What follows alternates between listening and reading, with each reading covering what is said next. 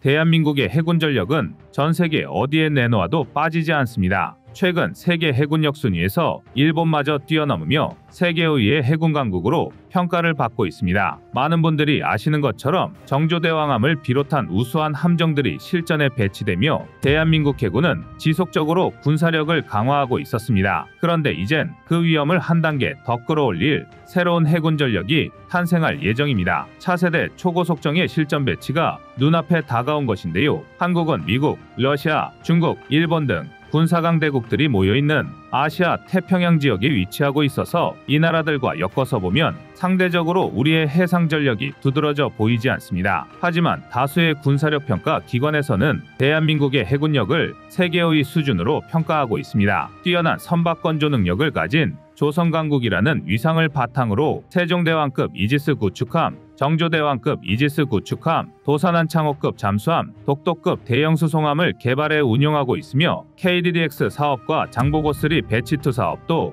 순조롭게 진행 중입니다. 현재는 잠시 표류하고 있는 중이지만 추후에는 한국형 항공모함 도입과 핵추진 잠수함 도입도 진행될 것으로 예상됩니다. 한국 해군의 이런 전력 증강은 중국이라는 잠재적 적국에 대응하고 중국 못지않게 해상 전력을 강화하고 있는 일본과도 균형을 맞출 필요가 있기 때문입니다. 또한 과거의 연안해군에 머물지 않고 원양에서 작전이 가능한 대양해군을 완성하기 위해서는 이러한 첨단의 대형 함정들을 지속적으로 건조하고 전력화하는 것은 매우 중요한 사안입니다. 그러나 내일 당장이라도 대한민국에게 실질적인 군사적 위협을 가할 수 있는 것은 북한인데요. 오랫동안 북한의 해상 도발을 차단하고 방어한 전력은 고속정입니다. 고속정이야말로 대한민국 영해수호의 최전방에 있다고 해도 과언이 아닌데요. 그래서 준비했습니다. 오늘은 우리 해군의 일선에서 막중한 임무를 수행하고 있는 고속정과 실전 배치를 앞두고 있는 차세대 초고속정에 대해서 알아보겠습니다. 대한민국에서 해군 전력은 매우 중요합니다. 삼면이 바다로 이루어진 특성상 연안 방어부터 시작해서 다양한 해군 작전이 매우 중요한데요. 고속정 전력 역시 마찬가지입니다. 서해 NLL에는 참수리급 고속정과 검독수리급 고속정이 배치되어 해상 경계 및 초계 임무를 수행하고 있는데요. 검독수리급 이전에는 참수리급이 대한민국 영해를 오랫동안 지켜온 천병 역할을 해왔습니다. 그러나 참수리급 고속정 이전에도 한국 해군의 고속정은 있었습니다. 바로 PT보트인데요. 미 해군이 제2차 세계대전 동안 주로 사용한 초계열의 정입니다. 미국의 케네디 대통령도 태평양 전쟁 당시 PT-109 함장으로 복무하기도 했는데요. PT보트는 보통 길이 24m, 배수량 55톤의 작은 선체의 목재로 만들어졌습니다. 1500마력 엔진 3대를 장착하여 40노트의 빠른 속도로 가속할 수 있는 능력을 갖추고 있었고 최고 속도는 시속 48노트에 달했습니다. PT보트는 기관포, 기관총, 어뢰 등으로 무장하여 빠른 속도를 이용한 치고 빠지는 전술로 일본군에 큰 타격을 입혔습니다. 대한민국은 한국 전쟁 중이던 1952년 1월 24일에 미 해군으로부터 PT보트 4척을 인수했고 이 보트들은 갈매기, 기러기, 올빼미, 제비라는 이름으로 명명되어 동해와 서해에서 활약하였습니다. 이후 1972년에 이르러 한국은 국산 고속정 시대를 개막하였으며 이때부터 고속정 건조 기술이 대폭 향상되었습니다. 특히 백 국금 유도탄 고속정의 국내 건조를 시작으로 한국 해군의 고속정 전력은 급성장하였습니다. 이후 참수리 고속정이 주력 고속정으로 건조되기 시작하였고 1976년부터 1993년까지 약 100여 척이 건조되었습니다. 이전까지는 기러기급 고속정으로 불리다가 1993년부터는 참수리급으로 명칭을 변경하여 지금까지 이어져 오고 있습니다. TKM이라고도 하는 참수리급 고속정은 동해급 초계함, 포항급 초계함과 함께 영해소의 최전선에서 임무를 수행해 왔습니다. 아닌 게 아니라 참수리급 고속정이 본격적으로 배치되고 운용을 시작하자 이때부터 북한은 간첩선을 통한 침투를 포기하게 됐습니다. 뿐만 아니라 구조, 환자 이송, 어로보호 등 굳은 일을 도맡아 왔는데요. 참수리급 고속정은 긴 역사를 가지고 있는 만큼 배수량과 선체 길이, 외형, 무장 등에 따라 시제형, 초기형, 중기형, 후기형 이렇게 네 종류의 형태로 구분할 수 있습니다. 초기형은 원래 선수에 30mm 쌍열포를 달고 있었으나 1995년 이후 20mm 시벌컨으로 교체되었습니다. 그러다가 2002년에 발생한 제2연평해전의 전운을 바탕으로 참수리급 고속정은 대대적인 개량에 착수했습니다. 일단 방어력에 많은 보강이 있었는데요. 기관실과 발전기실에 이중 철판 방호벽을 설치했고 기관총 사수를 보호하기 위해 방호판을 추가했으며 소총수 보호 용도의 방호판도 8곳으로 늘어났습니다. 또한 소화수와 방수용 펌프를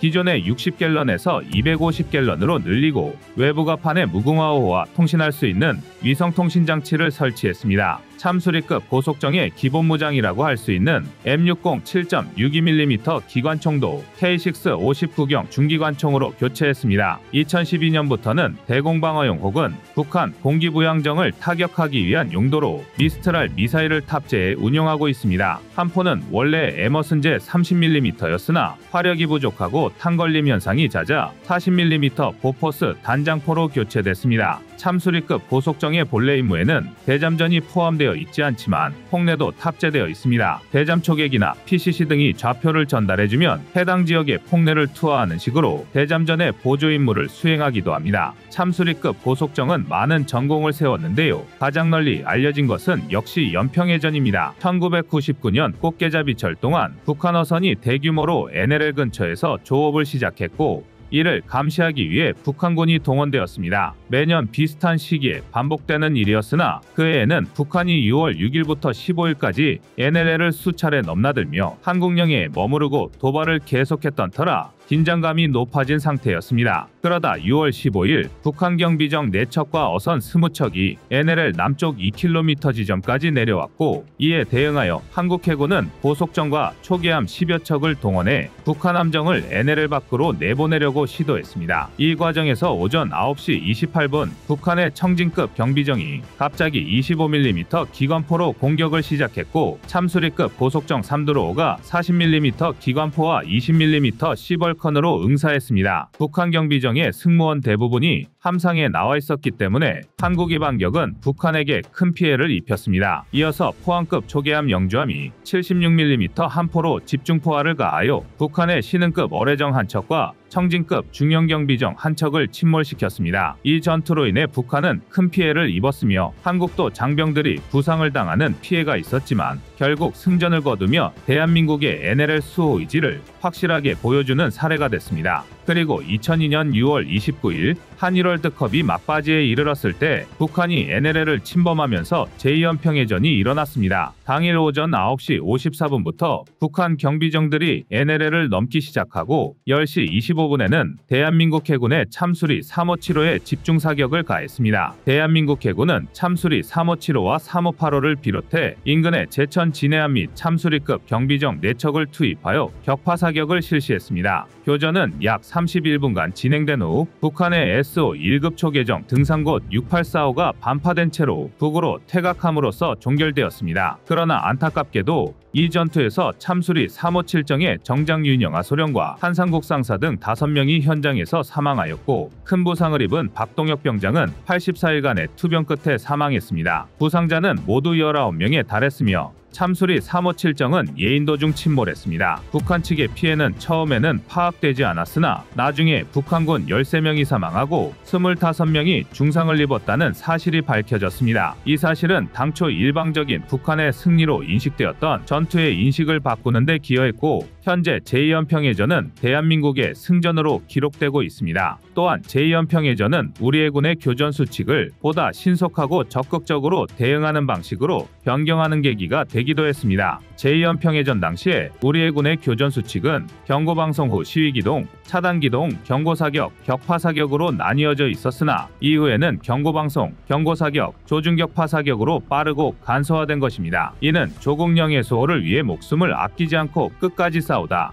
장렬히 전사한 참수리급 고속정의 영웅들이 남긴 유산이라 할 수 있습니다. 이후 서해 NLL 방어의 주력은 PKM에서 PKMR로 대체되고 있습니다. 길이 44m, 경합의 수량 210톤의 PKMR은 흔히 검독수리급 고속정으로 불리기도 하는데요. 해군 내에서 쓰이는 정식 명칭은 PKMR 또는 신형 참수리입니다. 그래서 2016년 7월에 진수된 선도함도 참수리 211로 명명됐습니다. PKMR은 기존의 참수리급에 비해 체급과 성능, 무장에서 많은 발전을 이루었습니다. 우리 해 군의 함정 가운데 기동성이 가장 뛰어난 것은 참수리 고속정과 검독수리 고속정인데요. 참수리 고속정은 최고 속력이 38노트이고 130톤인 참수리 고속정보다 체급이 큰 210톤의 검독수리 고속정은 최고 속력이 40노트입니다. 그런데 이보다 더 빠른 차세대 초고속정이 개발을 끝내고 NLL에 배치될 전망입니다. 차세대 초고속정은 최고 속력이 60노트 이상으로 설계되었습니다. 이는 기존 참수리 고속정보다 약 1.6배 빠른 속도를 자랑하며 이를 통해 빠른 반응과 기동성을 확보할 수 있습니다. 초고속정의 길이는 20m 혹은 4m로 상대적으로 소형이며 승조원수도 12명으로 적은 편이어서 운용의 유연성이 높습니다. 차 세대 초고속정의 기본 무장으로는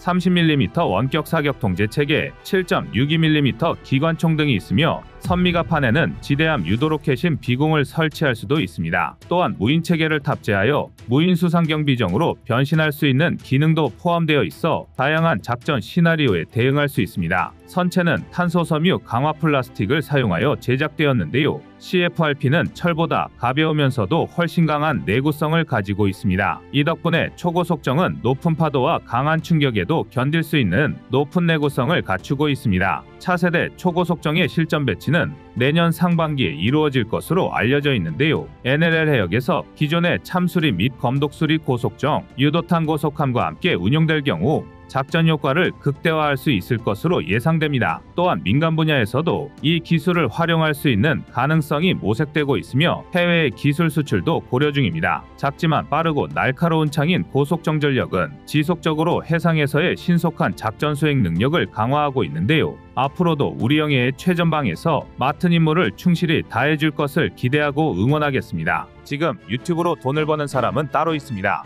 나만의 지식을 통해 새로운 수익을 얻는 것도 구독자 10만 명을 얻는 것도 이제는 어렵지 않게 됐습니다. 이제 꺼리튜브가 여러분들에게 유튜브로 돈을 벌 수 있는 방법을 알려드립니다. 꺼리튜브만의 실전 노하우로 유튜브에서 성공하고 싶다면 지금 바로 인터넷 서점에서 국내 상위 0.1% 유튜브 40억 창출 꺼리튜브 성공 노하우를 구매 하시면 그 방법이 보일 것입니다. 여러분의 구독과 좋아요가 꺼리튜브 운영에 많은 힘이 됩니다.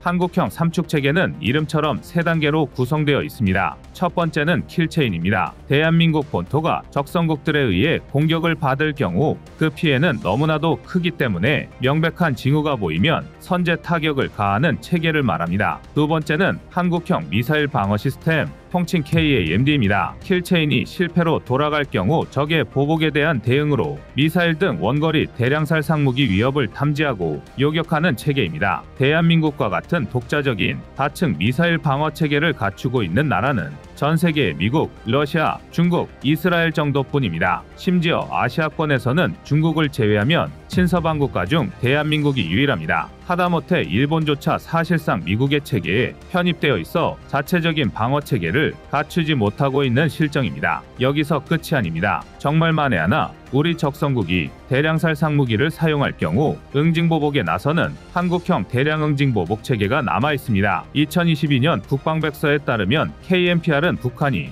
핵이나 대량살 상무기를 사용할 경우 우리 군의 고위력 초정밀 타격 능력 등 압도적인 전략적 타격 능력으로 전쟁 지도부와 핵심 시설 등을 응징보복하는 체계를 말하며 이를 통해 적성국의 응징적 억제 개념을 구현하는 목적이 있다고 표기되어 있습니다. 한마디로 대한민국을 공격하는 적성국에 대한 방어와 공격이 한 번에 이루어지는 시스템입니다. 다만 문제는 이런 한국형 삼축 체계가 처음 나온 게 2010년대 초반이다 보니 급변하는 방산 기술에 비해 너무 많은 시간이 흘러버렸다는 겁니다. 실제로 각계각층에서 한국형 삼축 체계도 최신화해야 한다는 의견이 나오기 시작했습니다. 그리고 이런 국민들의 요구에 응하기라도 하듯 올해 말 해군에 도입되는 차세대 이지스 구축함인 정조대왕함이 한국형 삼축체계 최신화의 선봉주자가 될 전망입니다. 그동안 우리 해군의 이지스함은 탄도미사일의 탐지와 추적만 가능했는데요. 요격 성공률이 가장 높고 요격 후의 부수적 피해에도 안전한 해상 요격이 불가능했던 겁니다. 하지만 정조대왕함의 요격 용 미사일이 탑재되면서 상황이 달라졌습니다. 신의 방패라고도 불리는 이지스함은 적에게 발각되지 않으면서 적보다 먼저 적을 발견하고 선제 타격 후 선멸하기 위해 만들어진 전투함정입니다. 대한민국은 이미 2008년부터 경합의 수량 7,600톤, 만재배 수량 1,600톤 규모의 세종대왕급 이지스 구축함을 보유하고 있었습니다. 세종대왕급은 대한민국이 보유한 최초의 이지스 구축함이지만 안스파이온-D 다기능 위상배열 레이더가 탑재되어 있어 함대 방공함으로 손색 없는 성능을 갖추고 있습니다. 하지만 대한민국은 세종대왕급 구축함을 도입할 당시 원가 절감을 위해 미국, 일본과 함께 다국적 공동구매 형태로 도입을 했습니다. 이로 인해 대한민국은 하나로 약 4천억 원의 예산을 절감하는 데 성공했습니다. 문제는 이 과정에서 미국, 일본과는 달리 탄도미사일 방어 시스템 옵션을 추가하지 않았다는 건데요. 당시 국제정세상 미국 미사일 방어 체계망에 대한민국이 참여하지 않는다는 사실을 중국에 확인시켜줘야 하는 상황에서 BMD 시스템 옵션을 빼버린 것입니다. 물론 BMD 시스템이 없더라도 세종대왕급 이지스 구축함 초기에는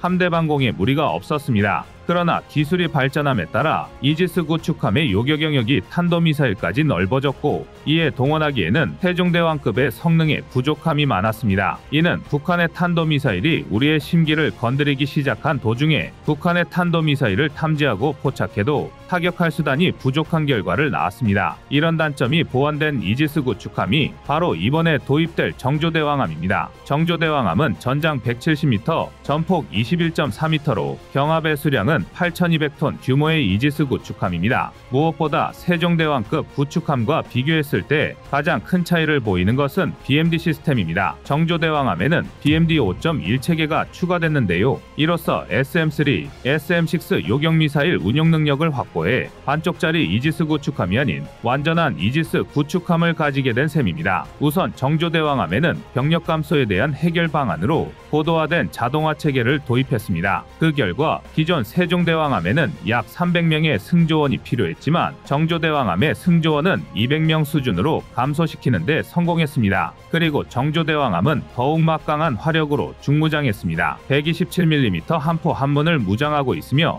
함수의 한국형 수직 발사기 16셀, 마크 41 수직 발사기 32셀, 한미의 마크 41 수직 발사기 16셀, 그리고 새롭게 설계된 한국형 수직 발사 체계 KVLS2 수직 발사기 24셀을 합쳐 총 88셀의 수직 발사 체계를 보유하고 있습니다. 해공 단거리 함대 미사일과 현무3, 홍상어 대잠 로켓 등과 같은 다양한 전술함대 미사일의 운용이 가능합니다. 여기서 끝이 아닌데요. 앞서 언급했던 것처럼 정조대왕함에는 SM2MR 블록3 함대공 미사일과 SM6 장거리 함대공 미사일을 탑재해 함정의 동시교전 능력을 향상시켰습니다. SM6의 최대 사거리는 240km 이상, 최대 고도는 34km 이상으로 기존 SM2MR 장거리 함대공 미사일에 비해 월등히 우수한 요격 미사일인데요. 기존의 요격 미사일은 함선의 유도빔 조사기로 조준해 유도하는 방식으로 미사일을 유도해 수평선 밖의 타겟은 조준할 수 없고 illuminator보다 많은 수의 타겟은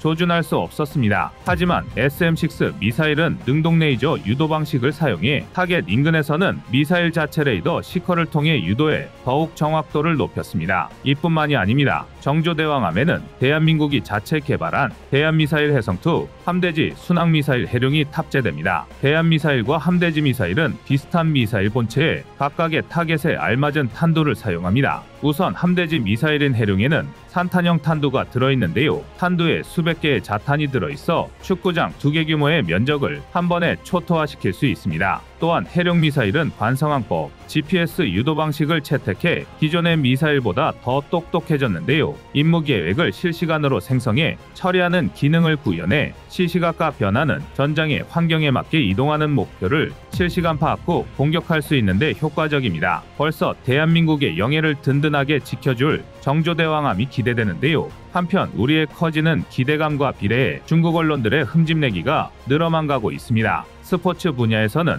패배한 팀이 열폭하며 승리팀을 근거 없이 맹비난한다면 오히려 듣는 입장에서 좋은 실력을 칭찬하는 것처럼 들린다고 보통 극찬이라고 하는데요. 중국 언론들은 정조대왕함에 연이어 극찬을 퍼붓고 있습니다. 실제로 정조대왕함의 공개와 함께 중국의 반응이 아주 기가 막힙니다. 최근 중국은 정조대왕함과 자신들의 공오오형 이지스함을 연일 비교하며 흠집내기에 혈안이 되었습니다. 오히려 정조대왕함은 비교할 가치가 없고 미 해군의 알레이버크급 구축함 정도와 비교할 만하다고 위안 삼고 있습니다. 일례로 중국의 군사 전문가들은 공오오형 구축함에 대해 미 해군의 알레이버크급 구축함과 비교해 40% 성능 향상을 이뤄냈다고 자화자찬했는데요. 아닌 게 아니라 페이퍼 스펙상 공오오형 구축함은 길이 180m, 너비 20m, 만재배수량 13,000톤으로 알려져 있습니다. 크기만 비교하면 미 해군의 주말 특급 구축함과 비슷한 크기를 자랑하고 있는데요. 뿐만 아니라 총 112셀의 수직 발사관을 탑재한 동부가 최강의 화력을 가진 구축함입니다.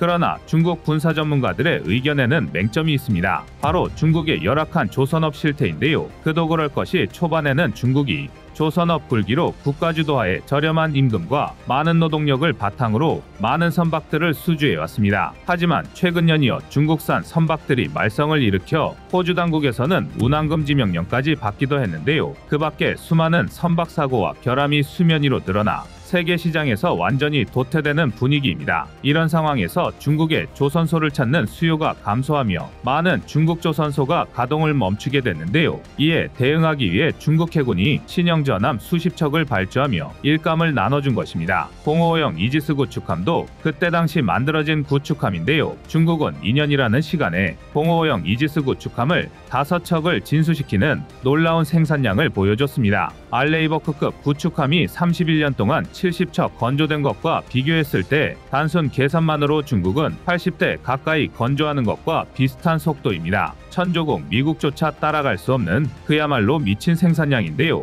미국은 초도함 건조 후두 번째 함을 건조하기까지 2년여의 시간을 두고 있습니다. 그 기간 동안 미처 발견하지 못했던 기술적인 결함들을 찾아내고 보완하는데 시간을 투자하는 건데요. 중국은 이런 보완 없이 무차별적으로 기계로 찍어내듯 군함들을 건조하다 보니 불량 군함들이 서해 바다에 쏟아지게 된 것입니다. 이런 중국산 불량 군함들의 문제는 하루 이틀이 아닌데요. 굵직한 사례들만 골라 봐도 한둘이 아닙니다. 대한민국이 기함을 맡아 훈련을 지휘했던 2016년 림팩 훈련에서도 중국이 자신들의 이지스함 052C를 가지고 참가했는데요. 중국의 052C 이지스함은 가상 전투에서 명중률 30%를 뽐내며 전 세계적인 망신을 당했습니다. 중국산 불량군함의 추태는 여기서 끝나지 않았습니다. 못난형 052C 이지스함을 보완한 아우 052D 이야기인데요. 2017년 중러 연합훈련에 중국의 052D가 파견됐는데 기관 고장으로 며칠간 망망대해에서 표류하는 추태를 보였습니다. 이뿐만이 아닙니다. 앞서 언급했던 것처럼 이지스 구축함은 레이더가 가장 중요한데요. 055형 이지스 구축함의 레이더만 봐도 그다지 신뢰할 수 없습니다.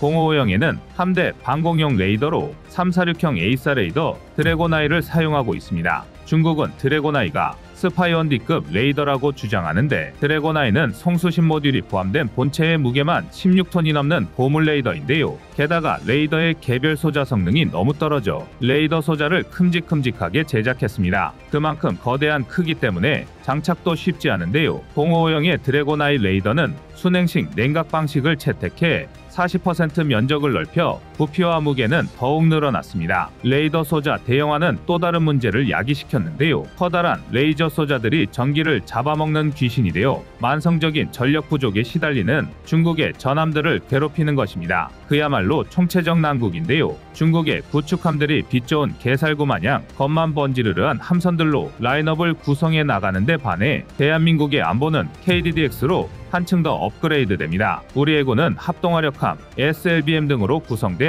대규모 해군력 증강을 구상하고 있는데요. 먼저 공개된 것은 한국형 이지스함 KDDX입니다. KDDX는 탐지 체계와 전투 시스템을 포함 국내 기술 100%로 건조될 첫 번째 구축함이 될 예정인데요. 정조대왕급 구축함과 대등한 성능을 지닌 것으로 알려졌습니다. KDDX에는 이중 대역 다기능 레이더를 갖추고 있으며 통합 마스트가 장착되어 적잠수함 및 레이더 탐지에 대해 생존력을 높였습니다. 한편 이지스 시스템의 꽃인 레이더에도 최신 기술을 적용할 예정입니다. KDDX S밴드 레이더의 소자는 약 4,000개로 4,350개의 소자를 사용하는 SPY-1D와 비슷한 수준입니다. 이는 함상용 3차원 다기능 레이더 중에서도 뛰어난 성능을 자랑했습니다. 심지어 세종대왕급 구축함의 레이더 사양 대비 100배가량 뛰어난 프로세스 처리 능력을 보여주고 있습니다. KDDX 사업은 현재 기본 설계까지 완료된 상태며 올해까지 상세 설계와 초도함 건조가 마무리될 예정인데요. 차세대 KDDX 함선의 배치도 순조롭게 진행되며 정조대왕함과 더불어 대한민국의 해군 전력은 한층 강화될 것입니다. 더욱 탄탄해진 국가안보로 대한민국 국방의 새로운 장을 열 안전한 대한민국을 응원합니다. 여러분의 생각은 어떠신가요? 이상 꺼리튜브였습니다. 안녕하세요. 꺼리투브입니다. 그동안 보내주신 사랑과 응원으로 1편 출간에 이어 이번에 꺼리투브의 새로운 신작 세상에 밝혀지지 않은 현대무기 비하를 출간했습니다. 내용이 어려워 쉽게 다가서지 못했던 군사무기 이야기를 남녀노소 누구나 편하게 이해할 수 있도록 모아봤는데요. 그 누구도 알 수 없던 현대무기 비하의 숨겨진 이야기를 이제 온라인 서점이나 가까운 서점에서 만나볼 수 있습니다. 또 전문적인 군사무기 이야기를 알고 싶다면 꺼리투브 1편인 대한민국 육해공 군사무기도 준비되어 있습니다.